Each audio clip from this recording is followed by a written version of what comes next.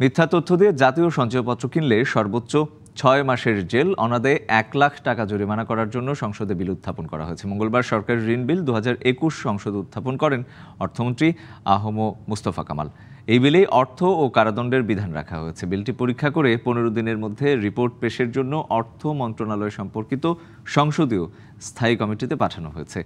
এর আগে ছয় সেপ্টেম্বর প্রধানমন্ত্রী শেখ হাসিনার সভাপতিত্বে মন্ত্রিসভার বৈঠকে সরকারি ঋণ আইন দু হাজার একুশের চূড়ান্ত অনুমোদন দেওয়া হয়।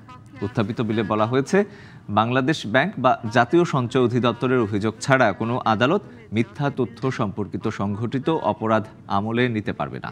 তাছাড়া কোনো ব্যক্তি নিজের বা কারও পক্ষে সরকারি সিকিউরিটি বা জাতীয় সঞ্চয় স্কিমের আওতায় ইস্যু করা সার্টিফিকেটের সত্য অর্জনের জন্য মিথ্যা তথ্য দিলে জরিমানার আওতায় আসবে।